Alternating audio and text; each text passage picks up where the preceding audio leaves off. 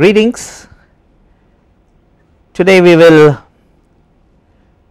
take a couple of steps beyond what we did yesterday in discussing chaotic, chaotic dynamical systems.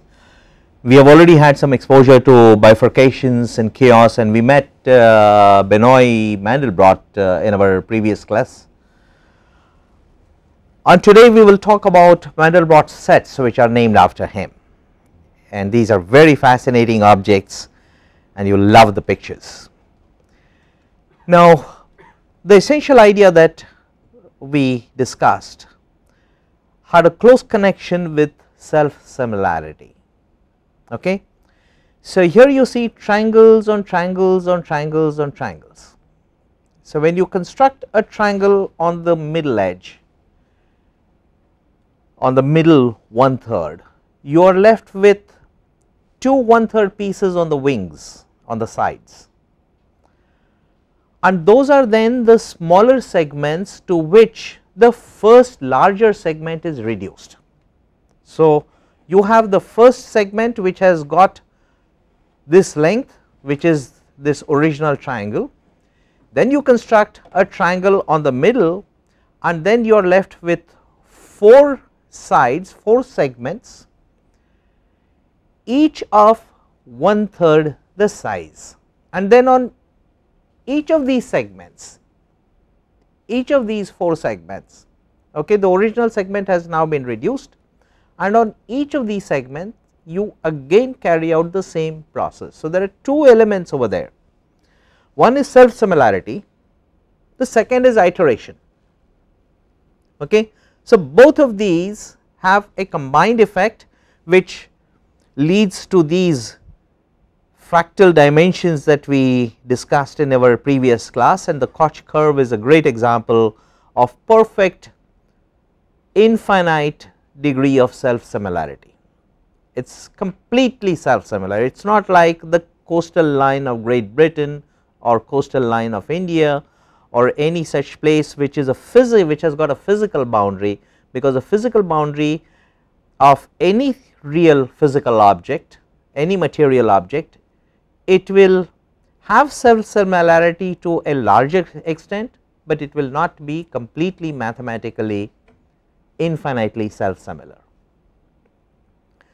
So, the Koch curve is the example that we discussed and using this we defined the fractal dimension as the ratio of these two logarithmic numbers and we recognize the fact that this ratio certainly does not have to be an integer. So, this is the generation of the Koch curve. This is an important aspect of chaos. And we have met self similarity earlier in this logistic map okay where we met these bifurcations. And then you have a repeat of these bifurcations so, what you have is an oscillation of period 2, it doubles up to an oscillation of period 4 and then it branches again. So, there is yet another bifurcation and when you see this cascade of bifurcations, you notice that once again you have one common element which is self similarity. Okay. So, what Feigenbaum really discovered is the exact scaling factor at which this self similar behavior manifests itself. It was the ratio of these consecutive you know um, intervals of R if you remember the definition of the Feigenbaum constant and it is in fact a scaling factor at which this self similarity appears. We also define what an orbit is. You begin with a certain seed value, you define a function on it and then you get a new value which becomes the seed value on which you operate by the same function and you get the next value of that particular parameter. So, it keeps changing you again you have an iterative process and this will generate a sequence of numbers which is an orbit.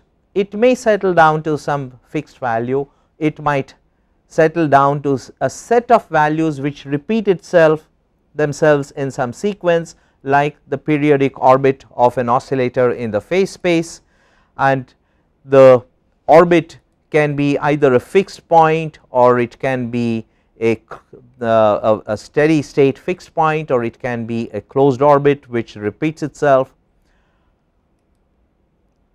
And we also considered some numerical examples in which we showed that if you have a function like defined by x square minus 2 then its orbit is a fixed point if the seed value is 0, but if the seed value is even slightly different from it if it is a small departure from 0 like 0.1 then you get completely random numbers you, you get numbers which do not show any kind of regularity but uh, you, you do not get the same kind of an orbit if you have a slightly different seed value. They do remain within the confines of plus 2 and minus 2, but within this range it is not easy to predict as to what the value will turn out to be. Whereas if the seed value was only 0 then you know exactly that the function will settle down to the value 2 and it will remain fixed. So what we have is you, be, you begin with a certain function, you get a new function you from the seed value. So you take the seed value over here and on the seed value you operate by a certain function you get a new value and then this new value can become the seed value and you can iterate. So this is some sort of an iterative procedure and this subject of chaotic dynamical systems is an intensely mathematical subject you need very high speed computers to get to operate these iterative you know steps to carry out this iterative mathematics and uh, you know some people make use of supercomputers and spend a lot of time getting doing this number crunching. So it is mathematically and computationally very intensive subject. Now there is a particular orbit which is of great interest in this subject which is called as the Mandelbrot set. This is named after Benoit Mandelbrot.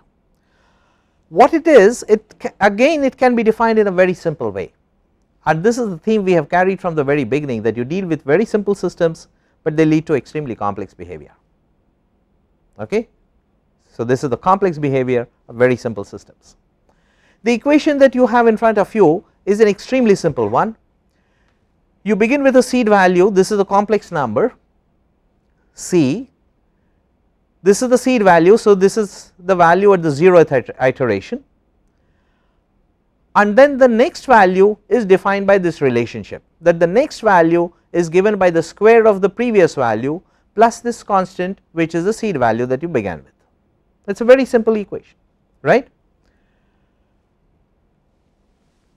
Now you will get as a result of this an orbit which is a sequence of complex numbers.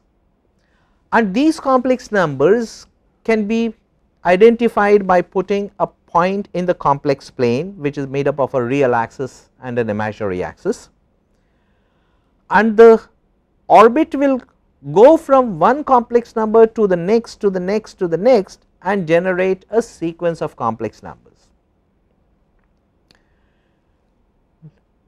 Now the corresponding point in the complex plane will therefore travel in the complex plane and the question you can ask is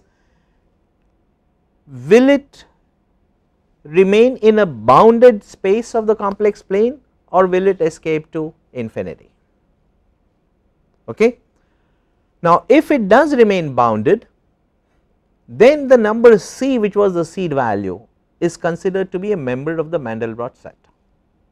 So the Mandelbrot set is a set of all complex numbers z for which the sequence defined by the iteration zn plus 1 equal to zn square plus c remains bounded. It is a very simple definition. Now, you will see what kind of amazing results this leads to. And you will then see that it has something to do with bifurcations that we talked about, it has something to do with the logistic map that we talked about, it has something to do with the self similarity that we talked about, it has something to do with chaos that we talked about. Notice that if c is equal to 0 then Zn is equal to 0 for all n and the sequence is just the complex number 0 okay. If z is equal to i then the sequence oscillates between i and i minus 1 i square root of minus 1 okay. So the sequence remains bounded but it does not converge to a limit it oscillates between i and i minus 1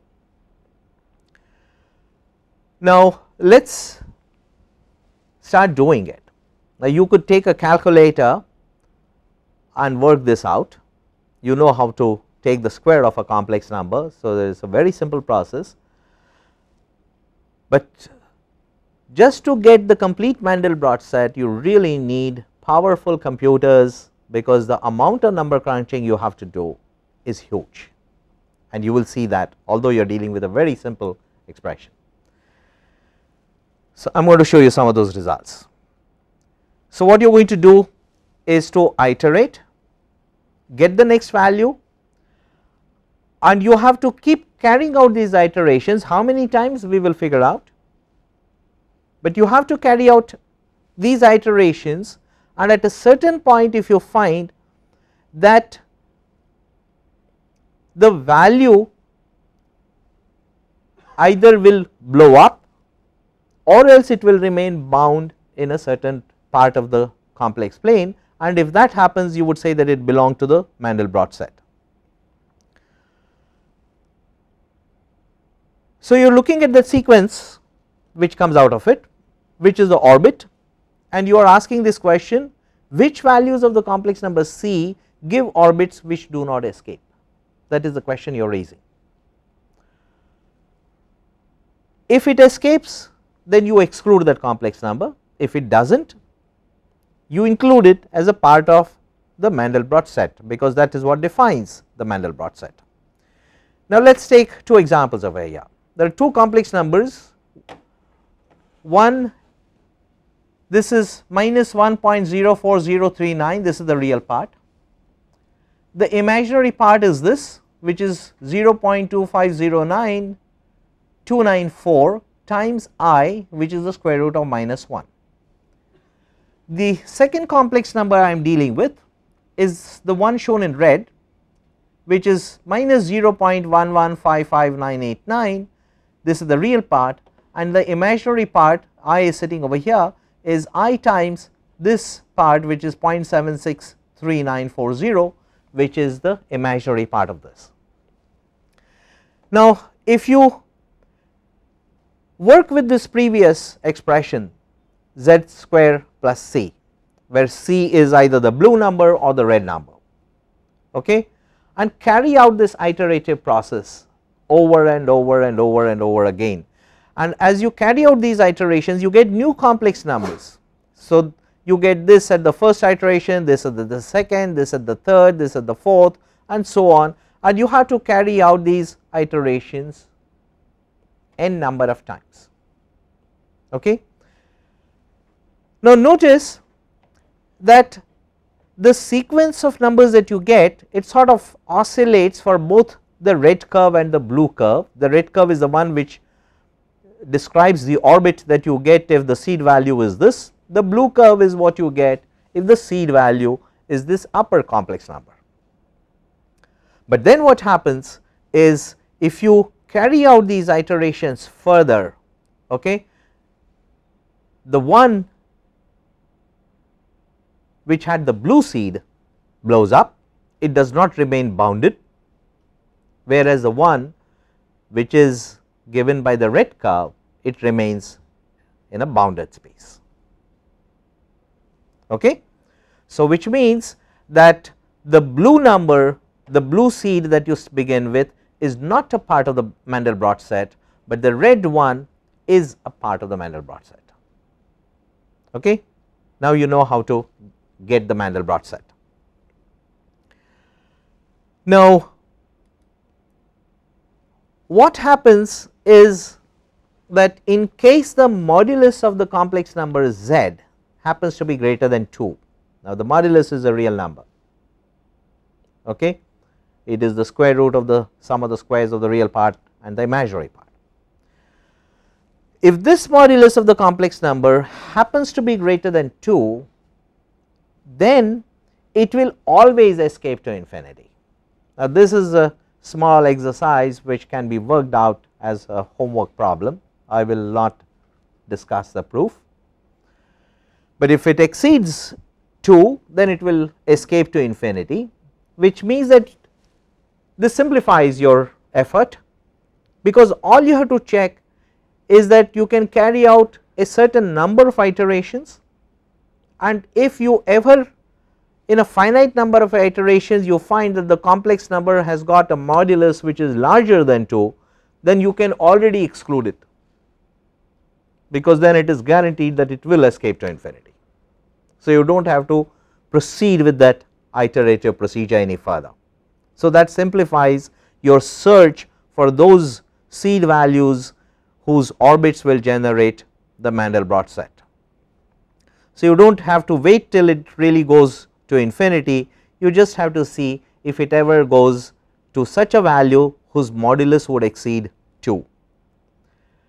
Now how many times do you need to iterate to check this out? Usually this number is not very large as it turns out and this comes from practical experience it is not that you have to do it infinite times. It is not that you have to do it a thousand times or a hundred times. You have to do it a few times okay? And then you are able to quickly check out that okay is if it is going to have a modulus whose value will exceed 2 and then you can just throw it out because that is not the number you are looking for for the Mandelbrot set. Now the Mandelbrot set in fact is a fractal. You know what a fractal is? It displays self similarity at various scales. We have already met this. And when you magnify this you get structures which look very similar to what you had seen on a larger scale. Now that is a very characteristic feature of a fractal. And a Mandelbrot set in fact does have that feature, but unlike the Koch curve whose self similarity is complete it is a mathematical curve so is this but there is a little difference. In this case the small scale details are not completely identical to the large scale details. Uh, you will again see it when I show you some examples. So there are differences which really makes the Mandelbrot set extremely complex in fact infinitely complex. So this is the, the process is simple all we are doing is multiplying complex numbers and this is what you get for the Mandelbrot set. All points that you see which are shown and it is a dense picture okay. Notice that everything remains confined to a compact space all points have got a modulus which remains confined okay. These complex numbers remain in a bounded space. The first major shape is this cardioid. And you know what a cardioid is? It is defined by this function okay? You can get it by following the trajectory of this circle on a circle which is rotating like this. That is what generates a cardioid okay? It has it can be described by this relationship between r and theta. So this is the cardioid and you see that there is this major cardioid. But then outside this cardioid there are a number of decorations. They are in fact called as decorations. Okay. So there are these bulbs and then there are other bulbs which are attached to these bulbs. And now you are going to start looking at it in detail. Zoom into this. And as you zoom into this just the way as you would zoom into a Koch curve you would see more and more self similarity. But in this case you will see more and more similarity yet there will be some difference. So, in that sense it is somewhat different. So, this is a Mandelbrot set it has got this amazing shape. Now, let us see some further detail. Now, what happens is that if you see closely at the at these boundaries okay you will see that there are these nerves kind of thing or fibers okay and there are the serpentine figures which come out of it. So, there are these small things which come out of these exterior buds okay and then um, uh, you, you have some more complex behavior and if you zoom in on any one of these you are going to see more structure. So, what you will start beginning to see that there are these serpentine shapes then they some of these shapes look like a seahorse tail and then if you start looking into these details you will see more structure and now you can see how beautiful shapes you get out of this it is really amazing. Now Hubbard and Douady they proved that the set is connected by very thin filaments. Okay to the eye it might appear as if some of the points are not connected. Not so they are all connected by thin filaments. Okay? They may not show up on a certain scale, but if you magnify if you zoom in you will see them. And in fact there is a theorem proved by Hubbard and Douady that the set is actually connected by very thin filaments. I already mentioned that there are these decorations or bulbs. The main cardioid is the primary bulb and then what you have is a number of these secondary bulbs which are attached to that which are known as decorations. Now we have studied the logistic map in one of our earlier classes. And now we have described what a Mandelbrot set is. There are a large number of Mandelbrot set beautiful pictures. They are in the public domain. You can download them from Wikipedia if you like or you can download them from if you just google Mandelbrot set you will be led to God knows how many websites and you know people enjoy doing arithmetic and number crunching uh, with this simple complex uh, number algebra all you have to do is to multiply the complex numbers and if you write a program then it is just a one step thing to uh, generate the iterative process.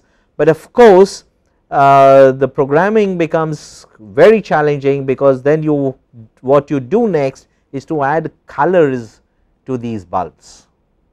Okay? They will bring out the detailed structure because otherwise everything is in black and white and you do not really see the structure. Say if you then attach a different color to different pixels then you will start to see the details of the structure. The question we are asking over here is that we studied the logistic map we have also studied the Mandelbrot set is there any relationship between these two okay. Now it turns out that there is a relation and a relationship which is very simple very straightforward and it follows the Feigenbaum constant. Here it is. If you just place these figures on top of each other, you know that these vertical lines I have shown that this bifurcation diagram moving from right to left rather than from left to right as we discussed earlier right that is the only thing we have done right. But the scaling factor the mathematics remains invariant and you notice that if you look at the major intercepts of the Mandelbrot set with the real axis okay they fall along the same segments of these vertical lines whose intervals in successive segments generate a ra ratio which is the Feigenbaum constant. Now that is how close they are related. So the Mandelbrot set actually intersects with the real axis in the interval minus 2 and 0.25 this is much clearer in the previous figure which I have taken from Wikipedia. Uh, this one the intercept here is minus 2 on the real axis the intercept here on the real axis is 0.025 okay? No sorry it is 0.25 not 0.025 that this needs to be corrected. This is 0.25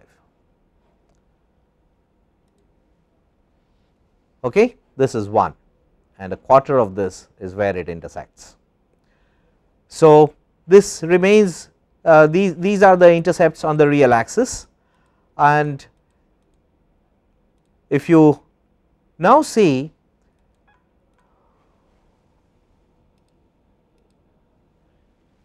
these intersects with the real axis the, the, these I already showed you minus 2 and 0.25 and the intersection points of the real axis they have a one to one correspondence as you can see from this figure with the parameter r of the logistic map. Okay we, we generated the logistic map by changing the value of r. And there is a direct relationship between the intersection points of the real axis with the parameter r and that relationship is given over here. You do not really have to write it down you if you just google these things you will get it very easily on the internet. And there are some very fascinating books on Mandelbrot sets and chaos. And I will give you some of the references toward the end of this class when you can have those references as well. But you notice that the relationship is so simple right? The relationship between the complex number C and R is given by what you see on the screen. And it is a very simple relationship connected with the intersection points on the real axis and that is the reason why you get the same kind of scaling factor in the uh, which is defined by the Feigenbaum constant. So how do you generate the Mandelbrot set? The first thing to do is to set up equivalence between pixel coordinates and complex numbers okay because this is very intense computer graphics is used to generate these plots and then have a color code which is linked to these. So now can you see this beautiful figure okay. So to highlight the boundaries you know this particular uh, programmer this is um, one of the very many that you will find already, but you can generate your own.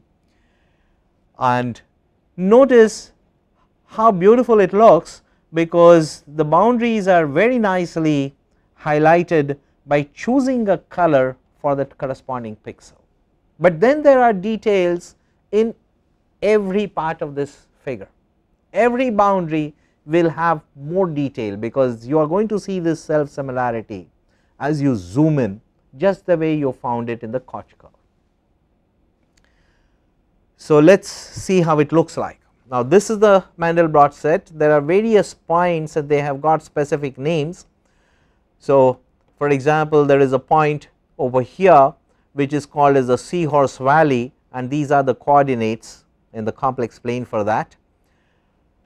Then there is a point number 2 which is called as the elephant valley whose coordinates are 0.275 and 0 and then there are other points which have got specific values these are just the real part and the imaginary part. So, those coordinates are given and then if you start looking at some details So, if, if, if, if you zoom in on a seahorse valley for example in, in, in this part then you can get a detailed structure and then you zoom in further you get some more detail you zoom in further and you see that inside this there is more structure. And this seems like endless. It is really amazing. In fact there is a very nice uh, song which is composed by Jonathan Coulton. You will get it on the YouTube. So if you just google uh, Coulton's uh, song on Mandelbrot uh, set you do not have to write down this link. You will get it easily and enjoy it. Um, there are a number of uh, Mandelbrot uh, you know figures which are available on the internet. It is a great source for you know just developing your basic interest and um, intuition about the Mandelbrot sets, but of course internet is always a source that you should use with a lot of caution. So that is a different story. So let me highlight a few properties of the Mandelbrot set. It is connected, I already mentioned this. There are no disconnected islands, okay, everything is connected. The area is of course finite you actually saw it in a finite part of the complex plane okay? But the perimeter the length of the border is infinite. This would remind you of the Koch curve.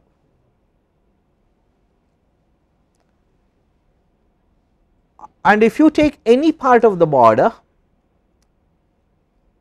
zoom in you will find more of the border. You will see more structure.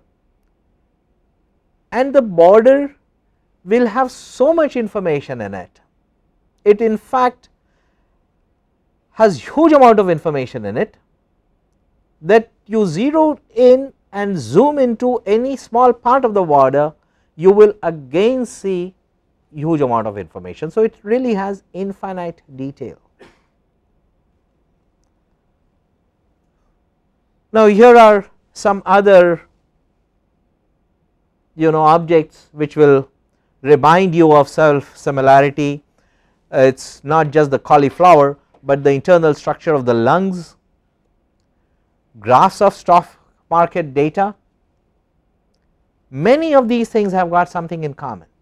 So, if you study the Mandelbrot set and examine the behavior, then from the mathematical forms you can study many other branches of physics, chemistry, various sciences, biology, finance, economics, what not. And if this is what science is about that you find mechanisms to study these, then studying the Mandelbrot set obviously has a large number of applications, which is why there is so much interest in this field. I will like to show some pictures. Uh, there is a very lovely video which is available um, you, you, you can uh, get it even on a DVD which is John Hubbard's video, uh, but I will show you some still pictures first just to get some general idea. So, here you begin with the Mandelbrot set. Can you see that? Right? Now, what you have done in the second slide is to zoom in in the central part of the previous slide. So, every time I show you the next picture, it will be a magnification of the central portion of the previous one and you already see that this is the magnification of the central portion of the previous picture. Now, let us do it again and this is what I had mentioned earlier that as you zoom in you see more and more detail to such an extent that you have infinite detail over there. Look at this now we have enlarged this further this is a magnification of the central part. Let us go further. Okay. Now, what is in the central portion has been selected for magnification.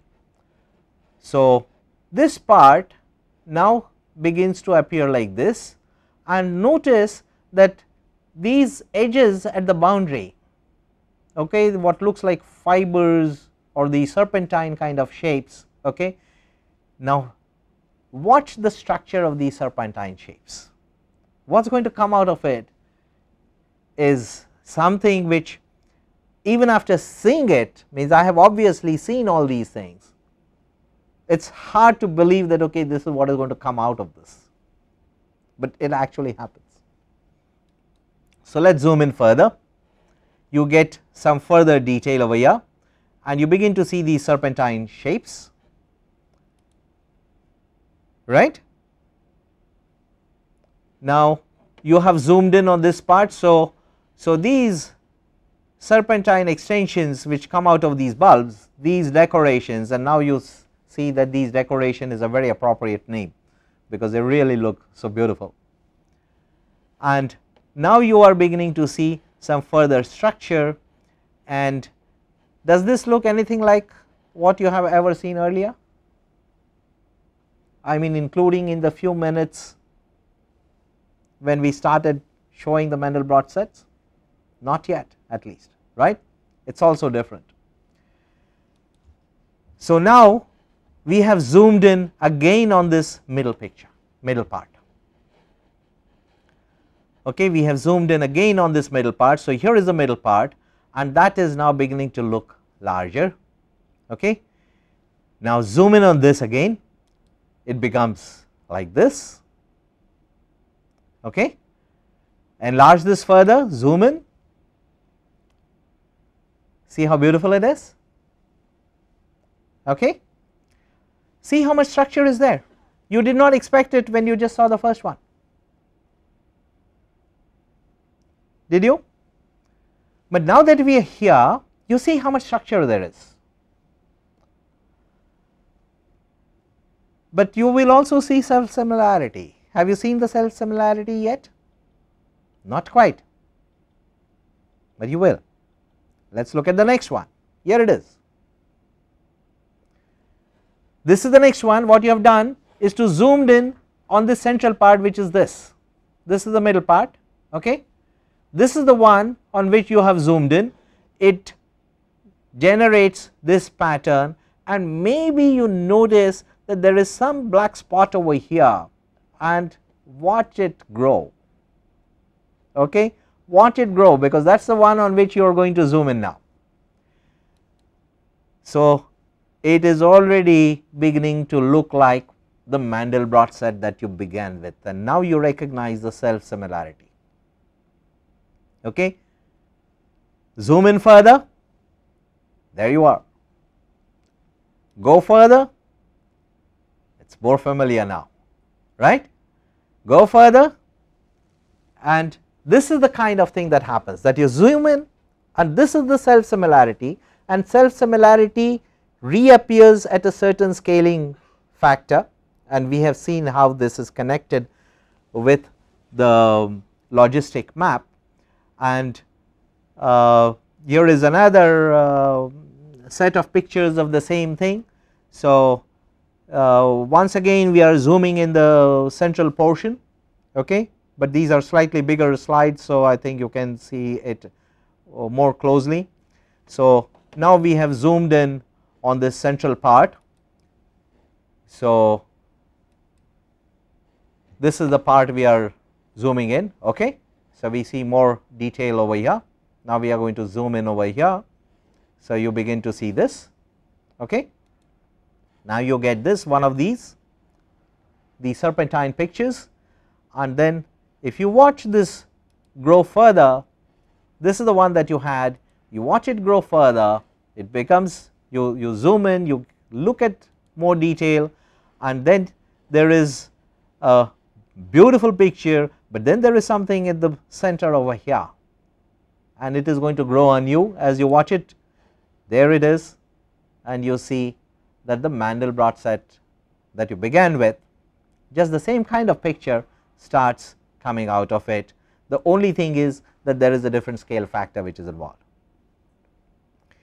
So, this is really amazing. These are very fascinating objects. And uh, I will like to uh, uh, draw your attention to some links on the YouTube. You can you can get uh, there are some very nice you know movies. And there is one that we downloaded uh, for demonstration over here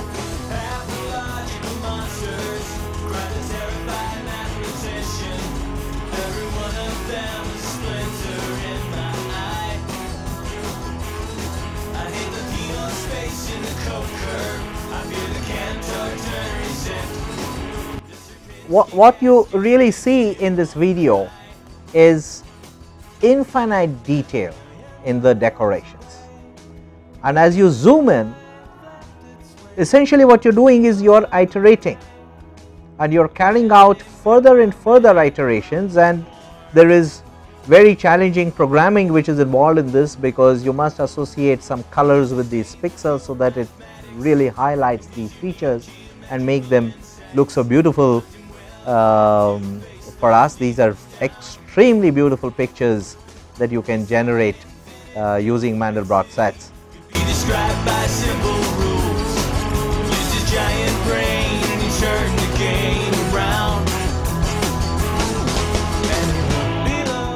And what you see is that as you zoom in, what you have as decorations which are on the boundary or the border of the first Mandelbrot set that you started out with, but it has got so much information inside it that when you zoom in you begin to see these extensions, these fibers and these fibers have got some central part and you zoom in on that and what comes out of it if you zoom in further is a shape a form which looks exactly like what you really began with.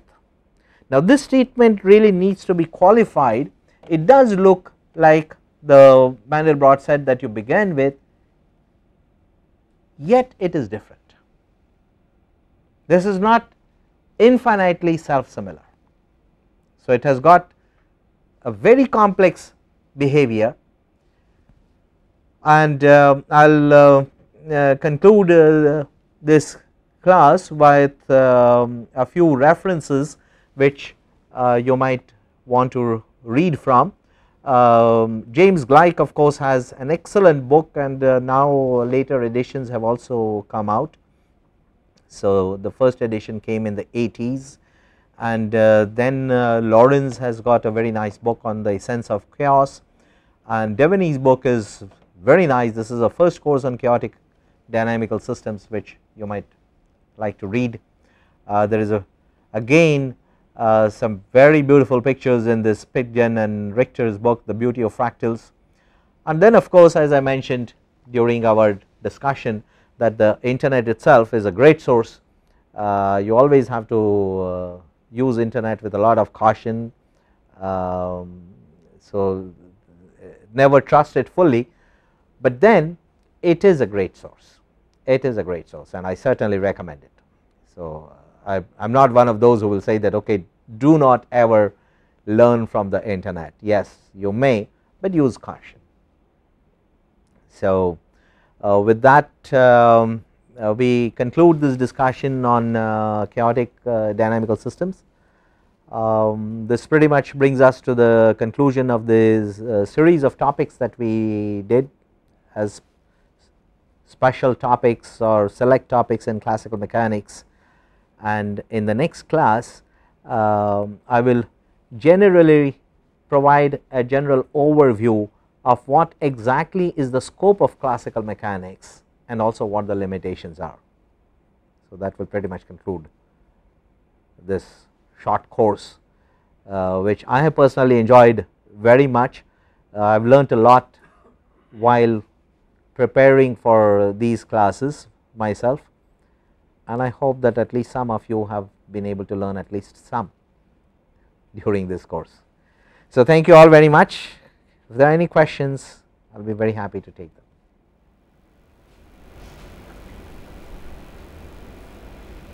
otherwise it is goodbye for now. In the logistic map also this self similarity it is repeated Yes, as we go along the R. it is, it is, it is. It is that that is the common feature between the Mandelbrot set and the logistic map.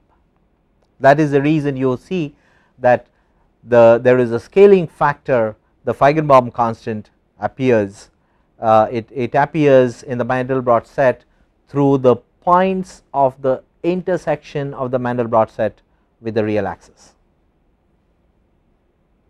So, that is the connection.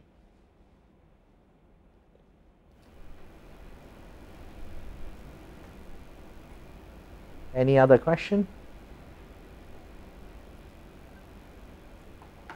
If not, it is goodbye for now and then we will take a short break and then I will summarize the scope and limitations of classical mechanics.